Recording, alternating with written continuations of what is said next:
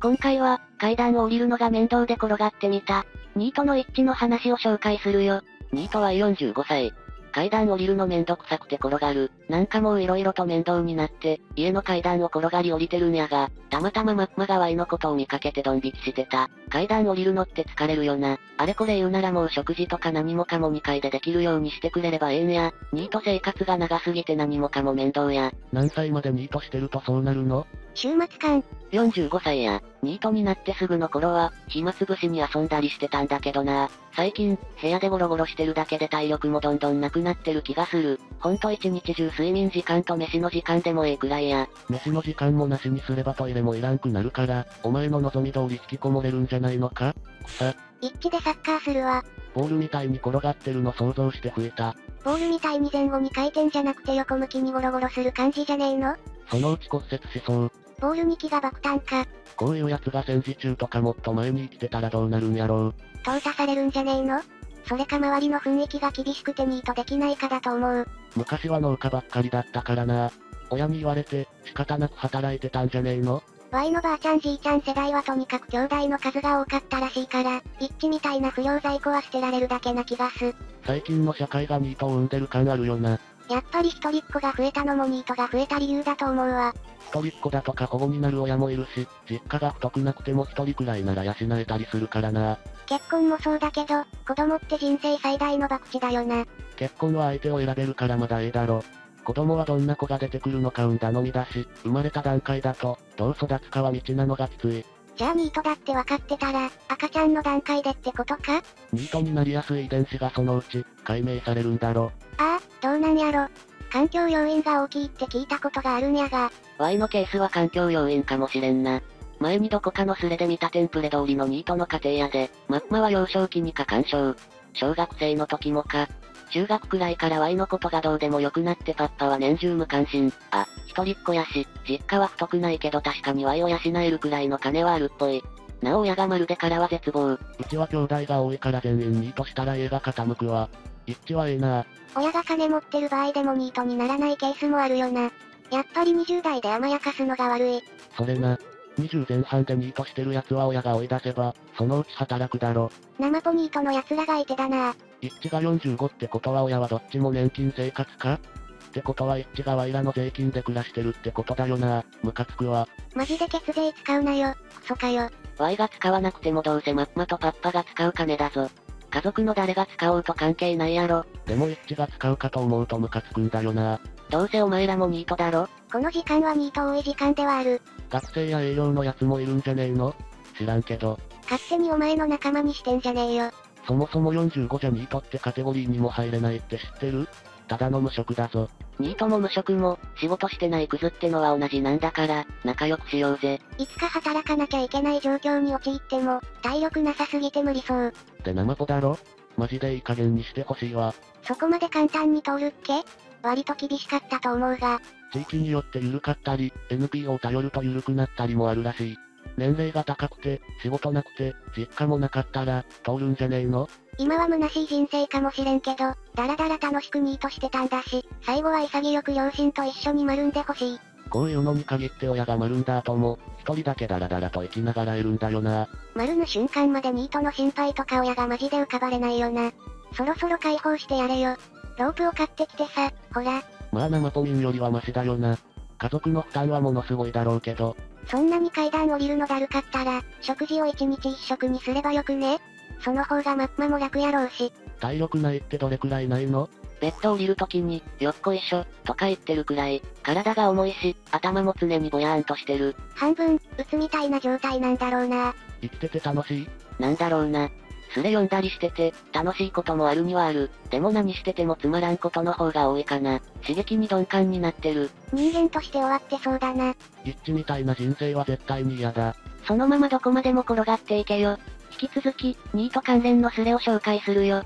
Y ニート3年目、決心して引きこもり支援センターに行くも苦笑いされる。ここはあなたのように自分で外に出られる方は来られませんよって言われたわ。外出しないレベルの引きこもりってそんなんおるんか。さ。下には下がおるんや。何のためのセンターや？そのセンターは外出できない引きこもりの家と直結しとるんか？親とかが相談に来て、引きこもりと電話で応対して外に出てもらうみたいなこと言ってたわ。なんかボランティアとか野外活動とかして、外に出る感覚を身につけるとかやってるみたいだった。せやな。まずは部屋から引っ張り出すことから仕事なんや。まあ割とすごいと思うわそれ。自信持っていけ。なんで外出てるのに支援センター行くん？引きこもりちゃうやん。一致は上なんやで。下で待ってるで。ワイも3年ニートしてて働き出したぞ。ちなもうやめたい。今は大抵いつか自分に合った場所を見つけるんや。毎週転職サイト見ながら仕事探してるけど、地方に飛ばされてるから応募するまでいかないんよね。実家帰りたいわ。何の仕事や。メーカーの生産技術や、地方嫌なんか？転職するなら地方行きたいなって思ったりするわ。やめとき。合わん奴はとことん合わんと思う。インドア派の陰キャは田舎だとますます引きこもるようになるから気がめいる。なるほどね夜の店とか少なそうなのは確かに嫌だな低賃金の肉体労働がメインやぞ。地域で一番稼げるのは公務員か私立の先生とかそういうレベル。引きこもりカテゴリーには、ベッドから出てこれない20時間睡眠層とかもおるで。20時間もよう寝られるわ。まあ起きられないだけで寝てるのとは違うんかな多分。引きこもりでも散歩ぐらいするやろ。なんやそれ。家族とだけ会話して6ヶ月家にずっといるのが引きこもりの定義らしい。初めて知ったわ。いや家から出ても引きこもりやで。引きこもりと呼ばれてる中で外出しないのは少数らしい。コンビニは通える引きこもりたちって本で読んだ。人類皆引きこもりや。Y 少数の中の少数で草。その定義やとは引きこもりやんけ。6ヶ月以上仕事もなく、家族以外の人間との関わりもなかったら引きこもりやな。ただのぐうたら無職やと思ってたわ。自信ついてええやろ。コンビニどころかマッマと一緒に買い物行ったり外食するぞ。何歳や？高校生までなら不登校カテゴリー。大学生以上40歳未満ならニートカテゴリーやろ。24や。それは普通にハロワ行って紹介してもらえばええだけやな。ニート期間長くなっていくとハロワ行くのが恥ずかしい。ハロは行け。それか自信ないならサポしてからでもええぞ。助かるわ。恥は捨てて行ってみるわ。Y みたい20年近くニートしてたカスでも、サポセン行って就職しとるから頑張るんやで。決心したならバイトの面接まで行けや。何しに支援センター行ったん？ずっと働いてないし職業訓練みたいなの受けられるのかと思ってたんや。引きこもりの意味は時代とともに変化している。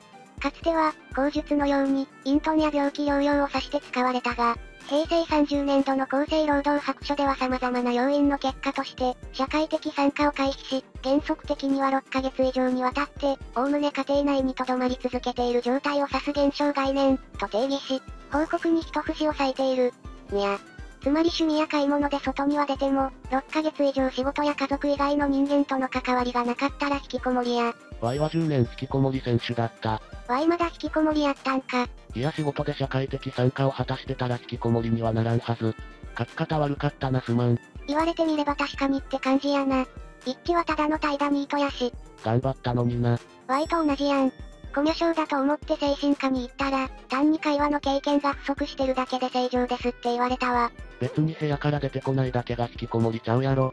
社会経験して嫌になって引きこもるのと、それすらなしのガチ引きこもりでもまた違うしな。1年働いて嫌になって辞めたんや。それならまだやれるで。ぬるい仕事見つけてダラダラやっていけや。ニートやってたけど就職したわ。って普通に言ってるけど無理じゃね？どこも雇ってくれないやろ。人手不足の業界はあるもんや。介護職しかなさそうやな。大企業は無理やが小企業なら余裕や。小企業は人が来なくて困ってるからニートでも誰でもええんや。ワイ小企業でも高卒はいらんって言われたで。小企業でそんなとこあるんか。学歴不問やろ。そら残念やったな。次行こう。バイトやったんやけど、大卒なら取ってあげたんやけどなって面接してくれた部長に言われた。それはクソすぎやわ。言い方悪かったわ。その部長はええ人でバイト取ってくれたんや。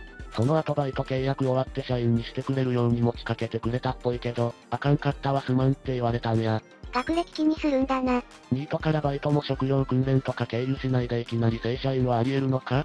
年数にもよるやろ。大卒1年目くらいなら第二新卒扱いになる可能性もあるし。あり得るで。案外なんとかなるもんや。いくつで就職したの31やで。おっさんや。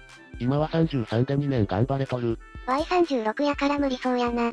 産休やで。お手本のような後ろ向きで草。そのレスですら褒められてるように感じて、嬉しくなる程度に人間終わってるではい。サポステって何？何すればいけるの？何もしてなかったら言ってよい。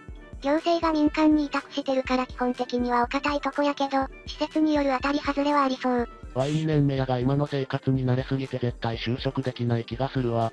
3年とか社会復帰無理やろ。まあ当たり前やが引きこもり期間が短ければ短いほど脱出しやすいらしいで。これ以上ニートしたい気持ちもあるけど親の金使って生きるのはためらうわ。俺もニートしてたことがあったが、やっぱ自由に何の文句も言われずに使える金ができるのはええよ。って言ってほぼ夜の店にしか使ってないけど。Y はニートの頃の金銭感覚取れなくて、1000円以上するもの買うのすらすごい躊躇してまうわ。夜の店とかでパーッと使ってみて孤独を感じるようになってから金遣いが荒くなったわ。貯金できるうちに貯めた方がええ、稼いでいけばいずれ使い出す。夜の店でパーッと金使えるタイプはニートから脱出できる。ニートは欲がないからそうなれないんよな。植物的な欲求って大事よな。課金でパーッと金使ったらこのざまよ。それでも復帰できるんか？その課金に価値を感じているなら脱出できる。惰性で課金してるだけなら厳しい。価値？というか好きなキャラが欲しくて課金したって感じやな。受かってもスタートラインでしかないってのがやばい。仕事覚えて、上司にこびへつらい、底辺作業に従事して残業までする。ハードモードや。と思うじゃん。毎日30分遅刻して上司を論破して暇な時はエクセル開いたり閉じたりしてるだけでも、Y はクビにならんかったぞ。もちろん30分残業してたけど、多分クビにするための証拠集めの段階やぞ。派遣会社は派遣してるだけで金を生むから絶対クビにならんだけやで。クビにしたら利益減ってまうのに、クビにする理由があらへん。働く気持ちがあるうちにどんどん動いた方がいいぞ。しかもニートだと書類選考で跳ねられる上に面接落ちやすいからメンタルきついやろ。職業訓練とかあとハロワでも、なんか制度色々あった気がするで。インターンに近いやつとか、みんな頑張ってんな。Y はフリーターから正社員になれそうにないや。働いてても職場と家の往復だけしてるやつは引きこもりらしいな。まあワイはガチ引きこもりニートやけど、底辺職だとサビ残党休日もろくにないから、そうならざるを得なくないか。ワイ、引きこもりだった。一致普通に外出られるなら若者サポートセンターとかのが合ってると思う。独り立ちするにも金がいるんだよな。金がないから独り立ちができないんだわ。よっしゃやる気出たわ。明日ハロワ行って就職への一歩を踏み出すわ。明日やない、今日やった。なあ無気力人間は高校卒業したら人生終わりみたいなもんやろ。みんななんで FX やらないんや？スマホ5分から10分ポチポチするだけで1日1万円は確実に稼げるぞ。なんで FX やねん。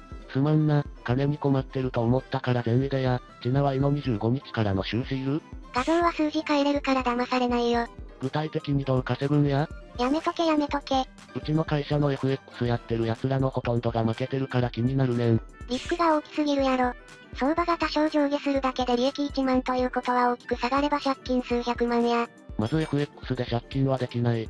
ゼロカットシステムがあるからな。入金したり金が消えるだけや。そしてゼロカットされないで1日1万円稼ぐ方法はある。空白期間ってなんて説明すればええんや？バカ正直に働きたくなかったからニートやってたでええんかな？バイトしてたことにしろ。バレんから。適当なバイト先書いておけばええか？ポイントは国民健康保険のラインで働いてたっていうことやな。働きたくなかったからっていうのであれば、その後どうして働く意思を持ったのか具体的に説明する必要がある。それは面倒だから何かしらでごまかした方がいい。例えばバイトしたり就活してた的な。履歴書で空白期間があることは明白なのに面接に呼ばれている時点で、空白期間の問題だけで落とされることはない。例えば病気療養しててそれが回復したから就職したいって言ったら、印象悪くならないんかな。病気療養してたってなると会社側からは、また病気になって退職するようなことがないかが気になる。今は健康体で問題がないことをアピールする必要がある。再発しそうな病気だったら正直に語るのは厳しいかもしれん。うつで退職して休んでたんやけど正直に言わん方がええな。言わない方が良いな。うつじゃ再発して辞めるかもしれんから会社側からしたらリスクや。ワイも毎日パチマル小屋に引きこもってるわ。田舎ってだけでハンデがあまりにもでかい。都会ならバイトでもして専門学校行けるわ。これメンス。札幌で月10万しか稼げなかったのに、東京出てきたら普通に30万稼げたわ。何しとんねん。ニートは今の恵まれた状態を幸せだと強く再認識した方がいい。Y もニート歴あるけど、繁忙期で来週6連勤で、残業も10時間行きそうで今から打つや。日給が3万だとしても行きたくないのに。わかる。若さって何よりも大事なステータスなんだよな。もう30間近の Y は今になって気づいたわ。ほんまな。まあ言い古された言葉やが今日がこれからの人生で一番若い人を持ってやっていくしかない。まだ間に合うやん。もう遅い。学歴も資格も技術もないバイトだけの空白の10年間やったわ。職君行こうぜ。職君って役に立つんバイト辞めたら行こうと思ってるやが。てか職君行ってる間って失業保険もらえるんかな Y は電工資格取ってビルメになる。デザイン系とかないんかなわがまま言うと人に怒鳴られない一人でやる職人仕事みたいなの憧れるわ。嫁がほぼ在宅でデザイン関係やけど、もともと広告代理店おったからな。なんか経験積むなりせんとな。自己都合で辞めると3ヶ月は給付されないが職業訓練に通うことで、その制限がなくなってすぐもらえるようになるよ。ただ辞めたバイトをある程度の期間、続けてないとおそらくもらえないけど、今月で勤続10年目や、公務員あるで、公務員なりたかったなせめて大学行きたかったわ。働いてる人って仮に仕事辞めて実家でニートしても許される環境ある ?Y はあるから余計働くのが苦しい。よっぽど金持ちの家じゃない限りないやろ。よっぽどじゃないけど別に無理やり働かせられることはないで。そんなこと無理やしな。Y は正社員受かる気しないからバイトから正社員雇用狙っていこうと思ってるわ。そうなると氷とかになりそうやけど、郵便配達もなれるぞ。逆や逆。バイトで雇えてるやつをわざわざ正社員にする会社なんてなかなかないぞ。制度はあってもなばかりや。年齢とか学歴やなくて実力さえあればって業界くらいやろか。なんとか入れそうなのは、年だけ食ってて学歴もなくて実力はあるって特殊すぎんか？なんかの教材とかスクールとかで技術は一応学んだパターンとかはそうならんか？コルセンとか事務の派遣って職歴にならんよね。書いていい。何がどう活かせるかわからん。マジか。何年もニートやっとるやつに聞きたいが未だに連絡取ってる友達とかおるんか？ここだけにしか友達はおらん。いるわけないやん。ニートになるときに全部連絡先立ったよ。みんな縁切ったり切られたりしてるんやな。高校の時の友人は遊びに行く時に誘ってくれるわ。ニートやから余裕ないって断るのは割と辛い。やっぱりそうだよな。ワイもや、やっぱニートになるときに全部連絡立つよな。俺もそうした。ニートになって縁全部切って、仕事関係で仲良くなった二人とは、連絡取り合ったり遊んだりって感じだな。一致の親は何やってる人なの？介護、決して高級やなかろうにニートの子供も飼っとるんか。支援施設に行く前に親に聞いたらどうや。酒に酔ってる時には胃が二人おっても養えるわって言われたから、結構もろてる。税理士、公認会計士、司法書士、公務員。ほら早いもん勝ちや。Y からしたら1年くらいはただの休憩期間としか思えんわ。働いとったら長期休暇も難しいんやし。ニートで公務員目指すの結構いる気がするけど公務員にそもそも向いてるの？あんまり向いてないような気もするが、このままでいることが恥なのに新たに恥かくのを怖がって動けない。我ながらふざけた話やな。ハロワ行って職業訓練学校紹介してもらえ。それが一番の近道や。ニートはとりあえずバイトして生活リズムと働くことにならすとええ。ワイ無職、約5年今週も家から出なかったで。なんか一致は相談してうまくいけば働けそうでいいな。Y は外に出れる気がしない。まだ20代だしな。焦る気持ちがあるからかな。ワイは20代の頃は全然焦りがなかった。ニート生活が長いとそうなるよな。ちゃんと3日坊主にならないようにするんだぞ。このスレ終わったらハロは行こうと思ってる。後じゃなくて今行けよ。そういうとこやぞ。ご視聴ありがとうございました。チャンネル登録もよろしくお願いします。今回は、自転車の面白い乗り方を研究しているという、ニートの一致の話を紹介するよ。ニートは27歳。自転車の面白い乗り方を研究中。ニートだけど最近、家で何もすることなくて自転車でアクロバットなことして遊んでる。どんな乗り方ができるか研究中や。ニートって体力ないんじゃないの？デブがやると怪我するからやめとけ。何歳だよ。27歳の高卒ニート。ニートになってすぐは肩身が狭くて家でコソコソしてたんだけどさ。最近、もう何もかもどうでもよくなって家の周りで自転車練習してるんや。田舎かな。ええな、そういう場所があって。そこそこの田舎で隣は畑だよ。まあ車もあまり通らないしうってつけや。暇で筋トレして痩せて、その後は自転車でずっと遊んでる。ニートって筋トレするやつ多くね。筋トレ勢も多いけど散歩するやつも結構いる。ジナワイも夜中は散歩タイムや。外に出たり体鍛えるやつと家でダラダラ一日中寝てるやつに分かれるよな。どうせ社会復帰する気ないなら家でいくら鍛えても無駄じゃないのか。ワイもそう思ってたんだけどな。適度に暇な時間が解消されて体が強くなった方が気分がええぞ。ワイがある程度、筋肉ついてからパッパもあまり切れんくなったし。草。やっぱり強そうに見えるとあんまり怒られないんだな。でもまあ働こうと思えば体力ある方が働けるからいいんじゃね。そもそもまだ27じゃん。筋肉衰えたワイに謝れ。筋トレ始めたのは去年だけどさ、最初は27歳って感じじゃなかったぞ。正直、見た目も地牛だったし。なお今もメガネはかけてる模様。自転車に乗る時だけは外す。裸眼でチャリって怖くないか。いや、別に遠出するわけじゃないし、遠くに出る時はメガネつけるわ。チャリでアクロバットって何してんの？どうせならコンタクトにすればいいのに。ニートにコンタクトを買う金があると思うか？学生時代はコンタクトだったけど今は一日中メガネからガンや、自転車のサドルの上に立とうとしたりあれこれやってる。そのうち大事故になるぞ。でもこういうの、ちょっと好き。危なっかしいな。田舎だろ？急にばあさんが出てきて、事故ったらどうする？まあ自分が怪我するのはしゃあないかな。骨折したら、ニート期間伸ばす言い訳になるくらいにしか思ってない。まあ人には怪我させないように気をつけてるよ。ていうか家の前、誰も通らん。たまに犬の散歩の人が迷い込むくらいや。やっぱり田舎っていうのも一致が就職できない理由だったりするのか。田舎ってのもあるし Y が働く気がないってのもある。進学するのが面倒で、田舎やし高卒でええやろと思っていざ高卒になったら働く気がなかった。ゴミで草。親の仕事は親が太いんか。ニートできるのは羨ましい。Y も田舎で過ごしたい。でも自転車で事故るのは嫌だわ。田舎は空気が綺麗だしええぞ。何もないけどな。パッパは普通に会社で働いててマッマは実家の農家の手伝いにたまに行ってる。実家は太くないと思うが米とかもらってくるからワイの食費くらいどうにかなるやろ。それならお前が農家を継げば自給自足できるやん。ええな。ていうか親戚なら農家で働かせてもらえよ。農家なあれこれ手伝ったことはあるけど決められた日、時間に毎日行くのは嫌なんだよ。わがままで草。自転車は普通のママチャリママチャリも持ってるし、昔、何かの商品でもらったマウンテンバイクもある。それくらいしかワイの遊ぶものはない。田舎でゲーセンもパチもないし友達とも疎遠になったからな。友達とはやっぱりニートになったせいで疎遠になったんか。なんか楽しそうな気もするけどやっぱり田舎でつまらなさそう。虫とか結構出るんか。友達は都会に出て行ったやつが多いからな。あと結婚したやつも忙しそう。ニートとか関係ないかも。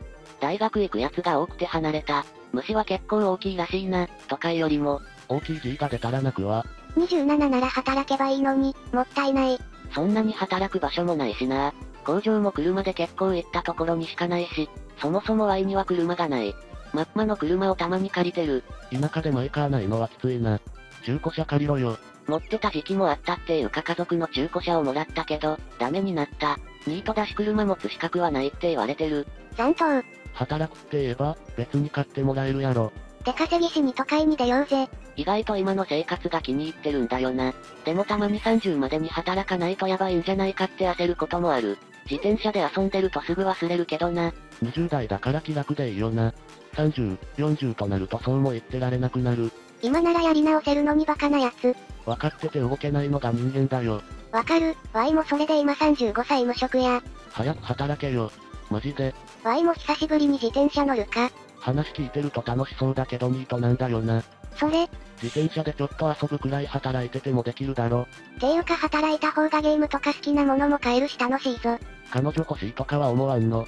ずっと地流の Y には高望みやと思ってる。ニート辞めたって彼女ができる保証はない。かといって、彼女できてから脱ニートとか無理やろ。ニートに彼女なんてできんぞ。でも紐野郎にも彼女いるやん。ヒント、イケメン。そ、マジで顔がいいやつは得だよな。鏡見て、親の顔見て諦めた。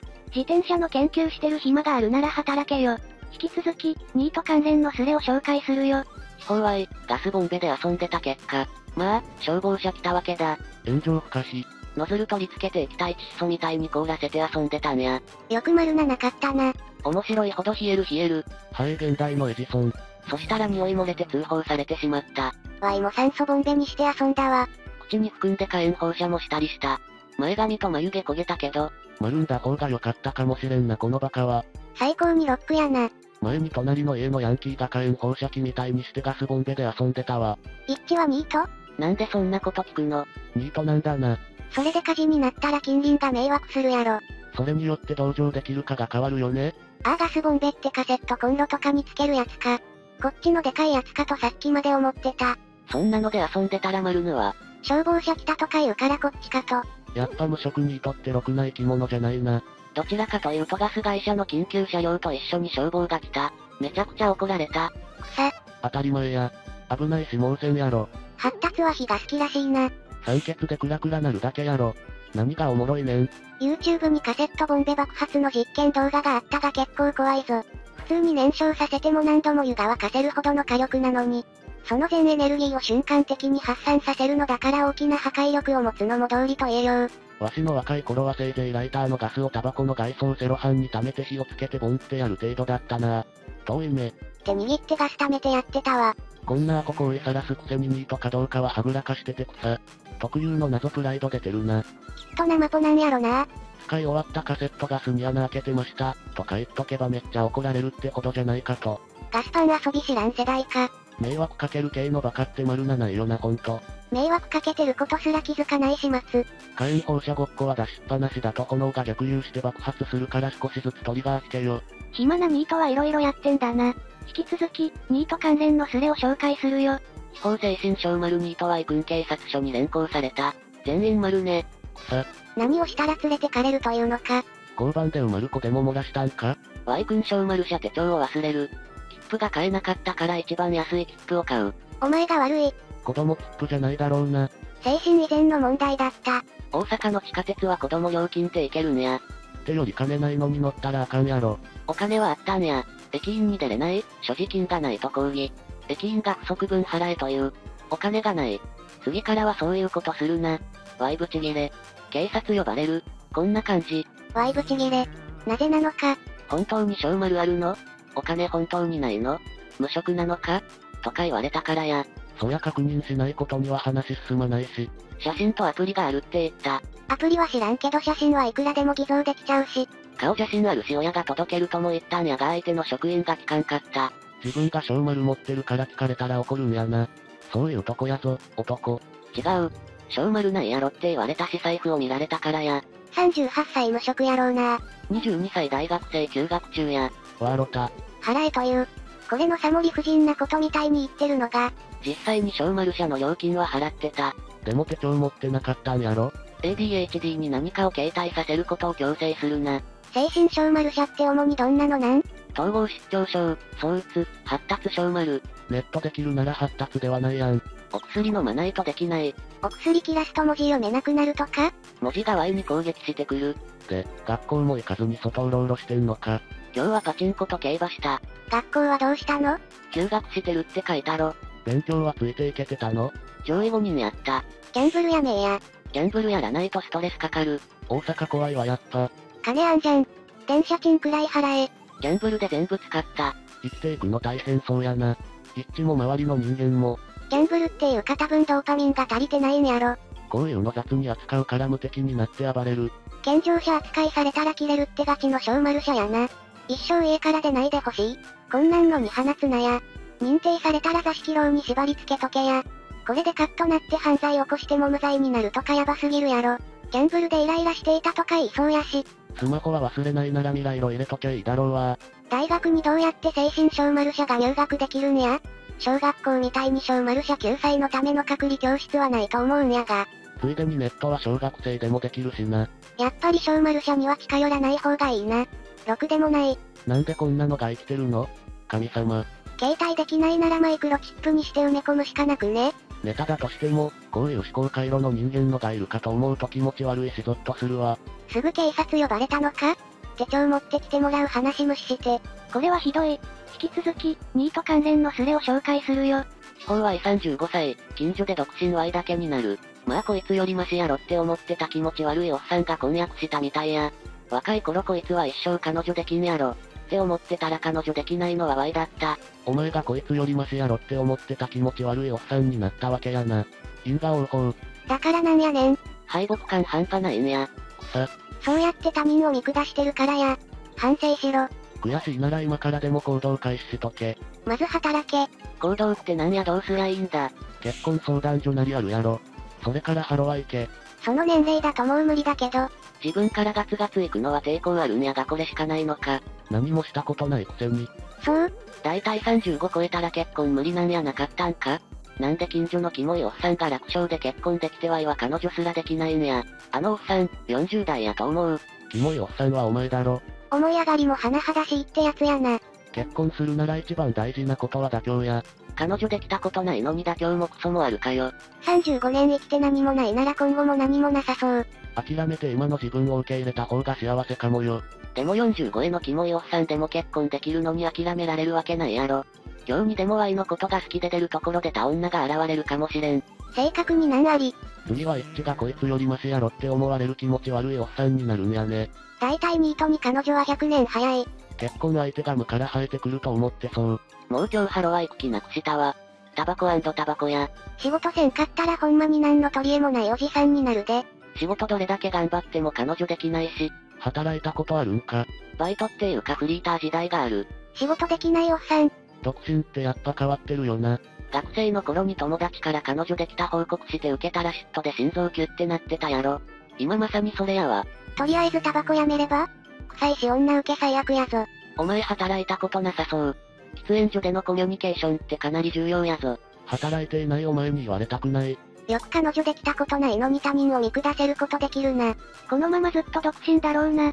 引き続き、ニート関連のスレを紹介するよ。ニートはい、ファミレスで警察に通報される。昨日の出来事なんだけどな。これはエッチが悪い。一目見て存在が営業妨害だと悟って通報した店員超有能。まあ昨日の18時ぐらいに暇だからファミレスに行ったのよ。これはエッチが悪い。そして腹も空いてたから小エビのサラダとハンバーグとドリンクバーを頼んで、メロンソーダ飲みながら待ってて5分ぐらいしたら、さっき注文した時に対応してくれた店員が小エビのサラダを運んできてくれたんだよ。そしたら突然、お客様ドリンクバーは頼んでませんよね？って言われて飲みかけのメロンソーダを持ってかれた。は？と思ったけど店員にいちいち言うのもだるいからまたメロンソーダを取りに行ったんだよ。なぜそこで店員に確認しない？人が多くて忙しそうだったのと、だるいし本当に頼んだから伝票みたいなのでわかるだろと思ったからかな。ほんこれ。すべきことをせずにトラブル呼んでるバカの恒例。そして席についてサラダを食べていたら、さっきの店員と店長みたいな人が来て、あんたドリンクバー頼んでないだろ？警察呼ぶぞって言われ口論になった。それで店長の態度が横暴すぎてこっちも切れて口論になって、しまいには警察呼べって店員に言いやがった。店内は騒然としていて、6分後くらいに警察が来た。その程度なら、ドリンクバー頼んでた、を主張し続ければ逮捕はない。店長に手を出してなければセーフ。外に出されて事情を聞かれた。それを聞いた警察の一人が窃盗罪で立件できちゃうねとか言われてさ。マジで泣きそうになったわ。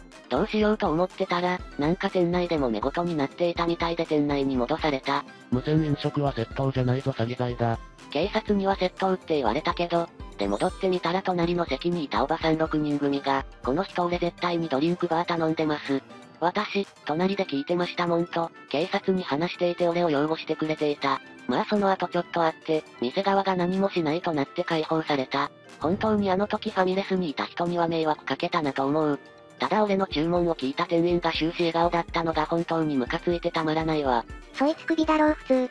そして名誉毀損で訴えられる、公衆の面前で騒がれたんだから。おばさん方が証言してくれてよかったな。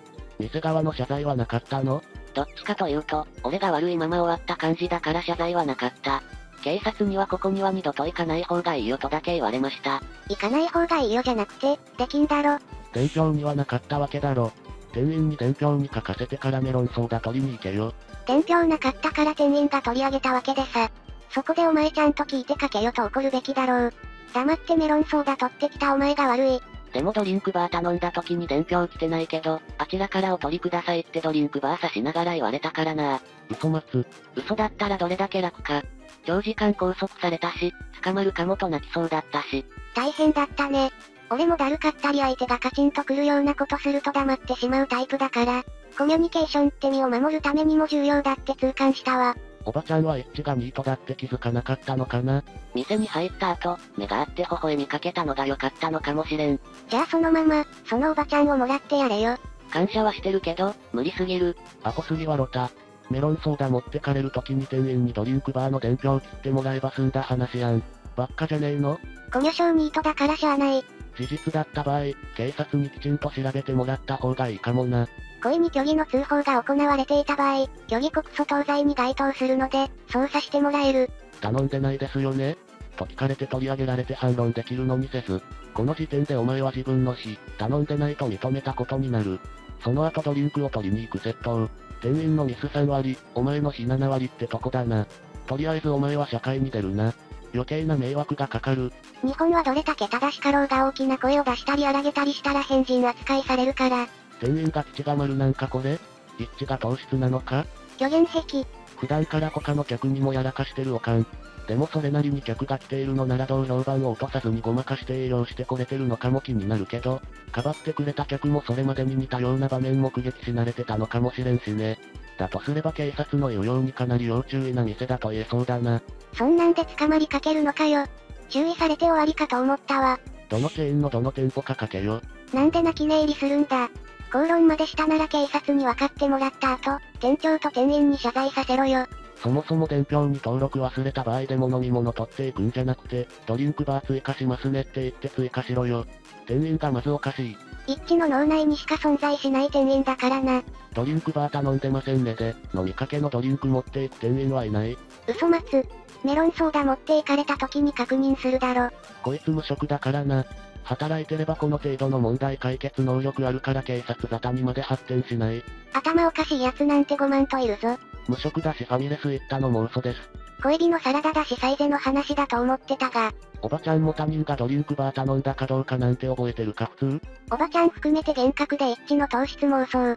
言われた時点でいや注文したよっていうだけ。入ってなかったら入れといてくれってそれだけのこと。おいこらドリンクバー注文してんだよ。持ってくなボケ、この一言で伝票に追加されて終わりだろ。一致はトラブルメーカーか。ネタじゃないなら外出控えてくれ。今はタブレットで注文入力して調理場の液晶で確認しとるの知らんやろ今時、記載忘れなんかないんやで。こんなしょうもないトラブルを自分でその場で解決もできないで、ネットでぐちぐち言うその神経がわからんわ。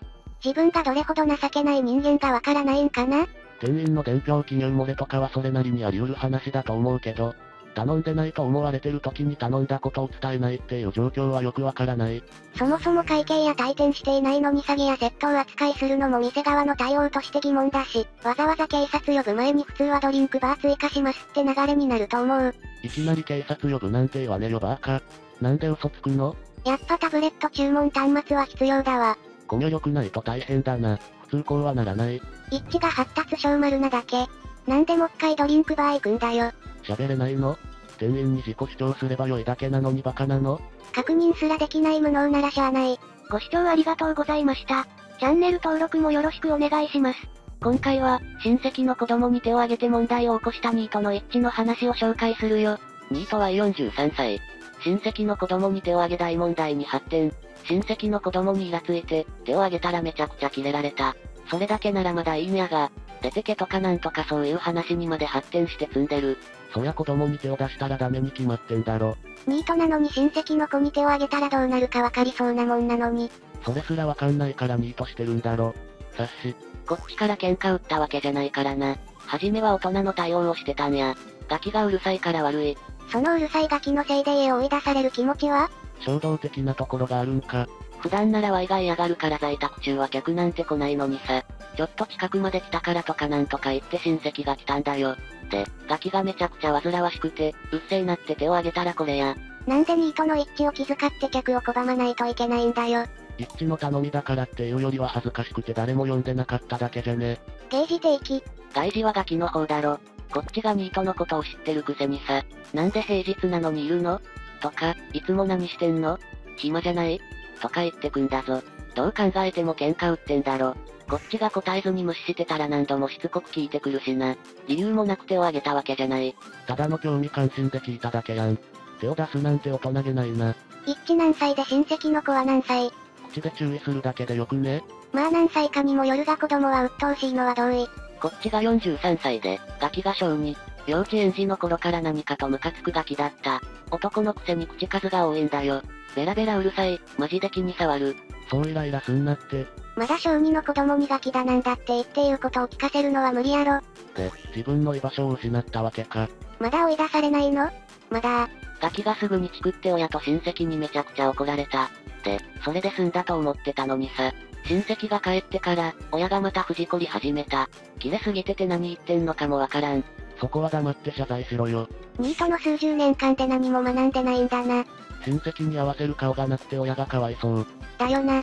一致じゃなくて両親が悲惨。藤こりすぎてて言ってることの半分もわからんかったが、出てけとか、なんでその年になって子供相手にとかとにかく色々言ってた。で、今はわざと料理の音を大きく立てながらドタンバタンやってる。ああやってプレッシャーをかけてくるのもどうかと思うわ。まあワイも無視して耳栓してみちゃんだけどな。マッマの怒りはもっともだぞ。一致が悪いと思う。料理しながら音立てるくらいは許してやれよ。イライラしてんだろ。一致を丸すわけにもいかないからな。包丁で怒りを。そのうちマジで丸されそう。子供を丸すとしたらニート以下だろ。さすがに親もそこまで落ちぶれないと思うわ。前に喧嘩してる最中に、一度だけ包丁向けられたけどな。世間に申し訳ないからどうこうって言いながら向けられてちょっと怖かった。親がダメ息子を丸してもいいような法律が求められるな。認知症のふりしてぐさっと行くのはダメなんか。一致が43なら、マッマが認知症ってことで丸しても良さそう。認知症でも丸人はしないだろ。そろそろマッマとパッパの残りの人生、好きに過ごさせてやってくれよ。別に好きにやってると思うけどな。昔は何かと気にかけて声かけてきたりしてたが、今はこっちのことなんて気にせず二人で出かけたりしてるし、昼間なんて一人ぼっちやぞ。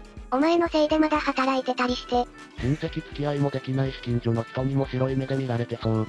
親の苦しみは親にならなんとわからんよな。わかる。ワイもニート期間があるが、息子がニートになったら発狂する自信がある。産まないのも選択肢の一つ。だよなでも実際ワイは生まれたわけやし責任取るのが親だろ。このまま60くらいまでなんとかなれば、あとは生子なりなんなりで生きていくわ。大体小児のガキなんてまだ稼ぎもない。ニートみたいな奴にブツブツ言われたら煩わしいだろ。だとしてもお前よりは可能性があるだろ。それで手を挙げてええんか？うるさいんだよな。危ない奴に声をかけたら困ったことになるっていうのも良い社会勉強やろ。人生の勉強をさせてやっただけだよ。じゃあお前も、親戚の子に手を出したら追い出されるって学べよ。社会勉強やぞ。ニートが何を言っても何の説得力もないんだよなそれな、説得力動向の前に苛立ちしか感じない。Y がその場にいたらな。キッズの正当防衛の代わりに一致を張り飛ばしたのに。強い相手が目の前にいたら絶対に何もしなさそう。それはお前もやろ。お前らだって最近のキッズはわがままだとか面倒とか言ってんじゃん。ワイと変わらんやろ。ネットのリアルを現実に持ち込むな。にちゃんの言うことを信じちゃってる感じ？痛々しいモンスターやな。?Y だって、親戚の子の前では優しいおじさん演じてるんやぞ。思ってるのは自分だけ定期。人生積んでて楽しくもないのにガキの前でヘラヘラしろってか。そんなん無理やろ。ワイの前にガキを連れてきた親が悪い。その考えだと一生そのままだぞ。性格が腐ってってるんだろうな。やっぱりニートはこうなる前に30代くらいで追い出すべきや。34くらいが追い出す目安かね。20代後半くらいでいいくらい。子供に手を出すのは終わってるだろ。引き続き、ニート関連のスレを紹介するよ。緊急、ワイニート、人生最大の危機に直面。誰かアドバイスしてくれメンス。働け。Y もニートやで、どしたんや。ケイカ君を、朝叩き起こされる。マッマに腰回収来たから持っていけと言われる。拒否したけど、ワイのアマゾンの段ボールがほとんどやからお前が持っていけと言われる。しぶしぶ持っていく。戻ってきたら鍵閉められてて家入れない。ピンポン押しても応答なし。やばいんを。窓から入れ。マンションやから無理んを。管理人に相談。ニートが管理人と喋れると思っとるんか。緊急事態なんだから仕方ないやろ。怖い？寒すぎんを。すぐ戻るつもりやから薄着やねんて。とりあえず謝っとけ。インターホンポチー。電話プルルルー。どうしろと。絶対影から見てるんやから玄関の前で謝っとけ。きっと影から見ては弱ざ笑ってるんを。ええやんどうせ親がいなきゃやホームレスになってたような人間だし。それが遅いか早いかの違いでしょ。やめえや。泣けば許してくれる。ドア思いっきりぶったたいて近所をざわつかせろ。ほんまそれしかないか。段ボールに入って捨てニートとして拾われたらええやん。君がワイを拾うんやで。何歳？36歳。働けってことだよ。言わせんな。遠丸するか行動するか選ぶんやで。最終手段でええなら警察やろな。実家に入れんから連絡してくれって泣きながら言うしかないわ。民事不介入とか言われんのか？緊急事態やしやってもらわんと一致の垂れ丸にやん。頼めばやってくれるやろうし相手が警察なら親も断れんやろ。警察行くか。でもこの辺田舎やからかなり歩くんおう。こんな薄着の格好で歩いてるええんやろか。通報してもらえたら渡りに船やろ。目的地は一緒なんやし暖房聞いたパトカーで送迎やで。悪いのは恋か過失か知らんけど鍵かけた親やからな。そこはしっかり主張せよ。そんな世界線はないんごよ。マスヤの朝定食ってから考えろ。寒いし腹減ったやろ。無一文。下は桃引き。上はスウェット。話しかけられ帽子のヘッドフォンとスマホのみや。松屋行ったらお縄やで。ちょうどええやん無線飲食で捕まれ。正月ホームレスは嫌だろ？松屋は先払いやから無線は無理。多分、ぶっ壊れたんやろ、マッマが。開けろー。って叫んでドアを叩きまくれ。そんなんしたら周りの人出てくるやん。ワイが耐えられん。遠丸は耐えられるんか？それはそれで無理んを。困ったもんやほんまに。あかん状況なら困った言うて手段選別する前に行動するやろ。これペット飼って捨ててるようなもんよな。なお、根っこは家の中でぬくぬくしてる模様。小窓に透けてるのさっき見えたわ。マッマ作詞やな玄関前で騒いでたらそのうち開けてもらえるか警察呼ばれるかされるやろ。どっちでも家に帰れるぞ。とりあえず最寄りの交番に行ってみてはマッマ来たっぽい。ちょっと待っててくれメンス。いい機会やろ。出しぬしかないんちゃうか悲しいけどさ。段ボールは、段ボールで家建てろってことだったんやな。どうなった？とりあえず働け。親孝行はマッマが丸んでからじゃできん。マッマは鬼や。小窓開けて、寒い？って一言言って閉められた。その奥からパッパの笑い声聞こえてきたわ。なんやねんほんま。さ、ワイもこれやろ。わははは。もう交番行けよ。なんとか穏便にすまんかね。穏便に済ませようとすると舐められてまた同じことされるやろ。日曜の朝からこんなん近所迷惑や。予防と防犯やで。かわいそうだけど仕方ないね。マッマ作詞やん。まんまと追い出されてて草生える。しかし作詞作に溺れるって言葉もあるんや。人は吹かせたれ。ニートの Y、策に溺れし、世の末かな。ドアくらいぶち壊して開けろ。バチの世界では常識。もうええ。強行突破や、入れたんごーレレレレ。ええやんそんなクソや縁切ったり。マッマが Y を締め出した理由がわかったわ。Y もうマッマの顔見れん。なんや？布団の上に俺の大人のグッズが並べられてたわ。もう一遍外に出るべきやな。本じゃないのか。親のダメージ効率ランキング、S クラス。近所ざわつかせる、窓を割る、警察介入、スマホに経緯を書き置きして遠まる。A クラス。電源抜かれるまでチャイム連打。B クラス、全裸で佇む。C クラス、ドアの前で佇む。なんで並べたか理由まではわからんけど。アマゾンって中身わからんはずやのに。でもその理由で締め出されるのもなかなかよな。まあこれで一致も学習したやろ。今度から外出ろって言われたらちゃんと着替えるんやで。36歳やぞ。吹っ切れたわ。Y の人生終わりや。自分のしたいような自家発電して何が悪いんや。クソが、笑ってんじゃねえよ。たまには父丸へ見せつけないからそんなことされるんやで。犯罪しそうって危うさを見せつけて教育しなあかん。もうこれを機に働いて一人暮らしすればいい。誰にも文句言われないぞ。画像派よ。端末からやってんねんけど、端末の場合はどうやってあげんの？そのグッズは誰の金で買ったんや？去年のお年玉や。36歳でお年玉って、もらえるの？とりあえず全部処分してバイト始めろ。捨てるんもったいないやん。でも今のままだと怖くてもう外出られないだろ。誠意を見せよう。せめてまずバイト始めるとこから。スーパーの品出しとか楽やぞ。バイトやっても怒られてばっかの人生や。コンビニ、スーパー、年末の郵便仕分け、新聞配達、全部怒られてやめたんやで。頭おかしなるで。もう狂ってるで。手遅れや。このスレ見てる奴らの感想や。36歳でお年玉。ただわからんことが一つや。一時締め出しと、グッズ陳列が繋がらん。Y に何を伝えたいんや。もうニートは買えないということでは？金銭的負担で開始。ええ年して彼女も作らず何しとるんや。って意味やろな。一時締め出しはグッズ取り出すための手段やろ。ニートがしょうもないもんに金つこてたらそりゃマッマも怒るわな。マッマがかわいそうだからそのまま遠丸しろ。こんなの育てた親の責任だよ。自分で稼いだ金で買えよ。ワイも部屋中に趣味のプラモとか並べてるいたきしょい子同時やけどパッパの倍以上稼いでるからむしろ出ていかんでくれと頭下げられてるレベルやぞ。親が哀れすぎて泣けてくる。トイレットペーパー1個の価値もないクズやな。36歳はニートちゃう。ニートとは就学も就業もしない若者のこと。厚労省の定義では15から34歳まで。ネタであってほしい。なんでもも引きスウェットで段ボール持って家出たのにスマホあんねん。服くらい着ろよ。ゴミためみたいな部屋を掃除してくれたんやろ。だからその間締め出された。いいマッマやないの。スマホ依存か？親倒れたかもとは考えんのやな。屈辱を与えて、自立を促そうとしたんかね。親から受ける屈辱か、大変やね。